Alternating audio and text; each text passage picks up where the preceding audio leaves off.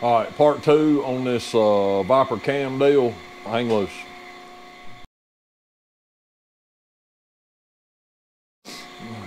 All right, so we got it in the grinder. Um, I went ahead because we need a true journal. I went ahead and uh, ground this journal so we can run the steady rest. And I uh, touched up this journal just to try to get the uh, gauge set. So everything looks fine. Uh, we're going to go ahead and finish. We'll finish this one, this one, this one, and this one. And then I'll move the steady rest to here and finish this one, and then we'll flip it over and finish the first journal. So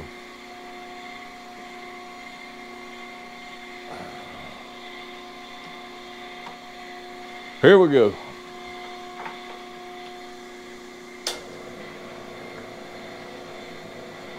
Or maybe not.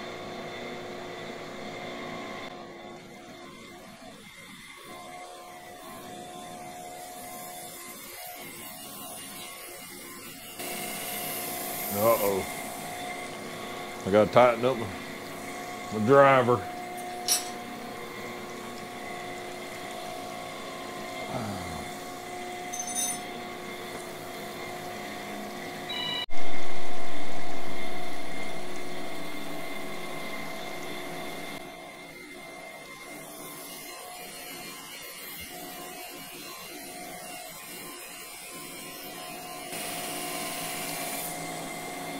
That should be five to go right there, but we're gonna check it make sure that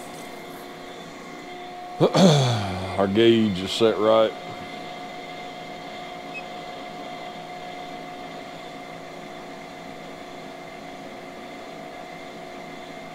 Yep, that's exactly dead on it.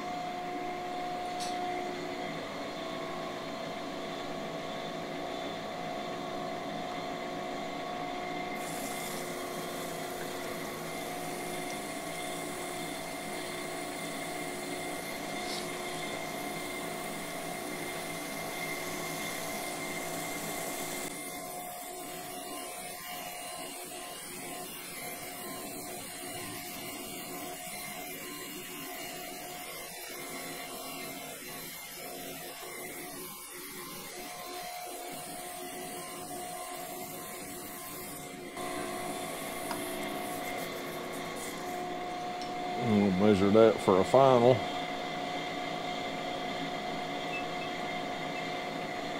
And that's dead on it. Dead on it. So we know the gauge is set good, so.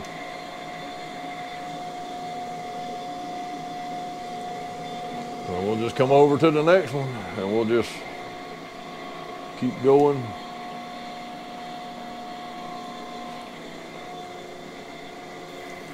哦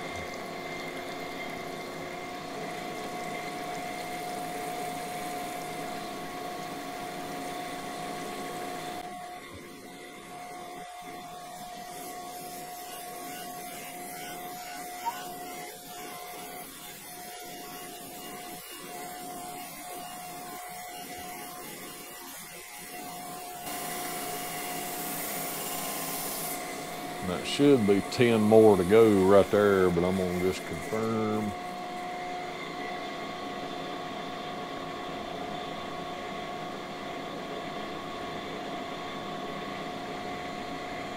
Yep.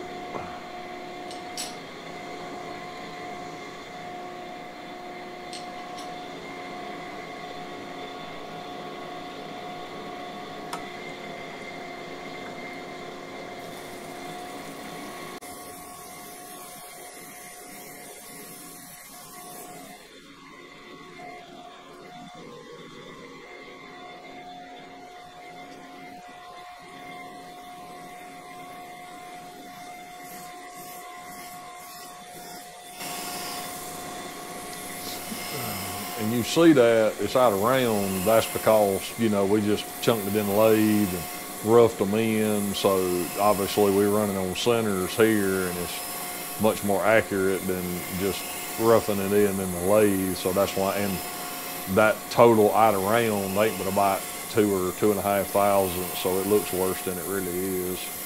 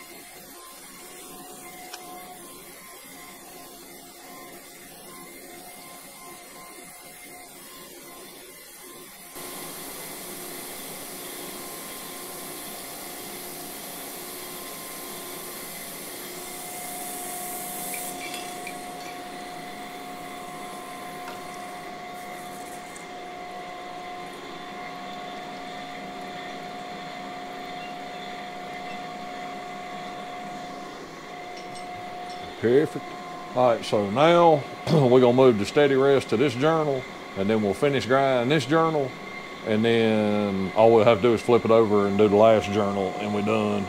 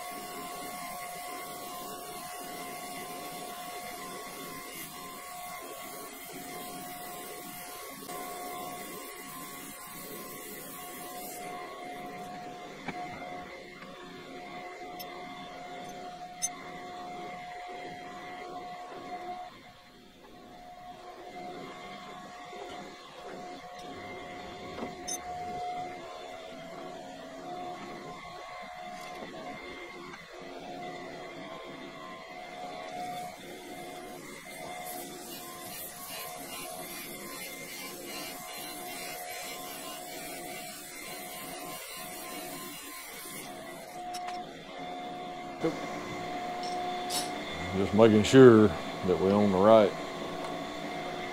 right round on the gauge.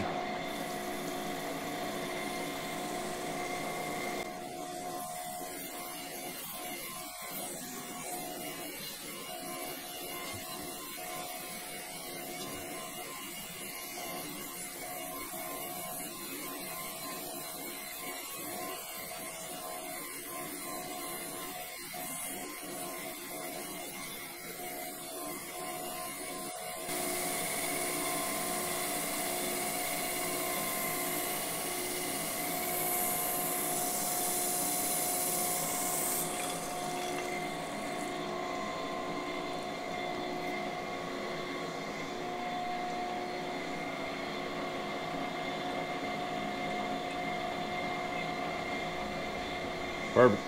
So that is, I'm gonna, I'm gonna conclude it there. So I'm sure that all you fellas know how to polish. It'll get a light polish.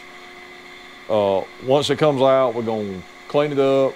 We'll polish the journals and then that job's done. Now, one thing that I, I, I want to point out again is luckily those lobes were small.